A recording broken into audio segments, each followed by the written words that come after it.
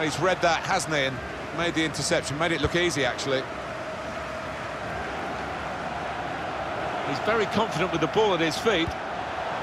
He's tackled well. It's a good challenge. It's led to a corner.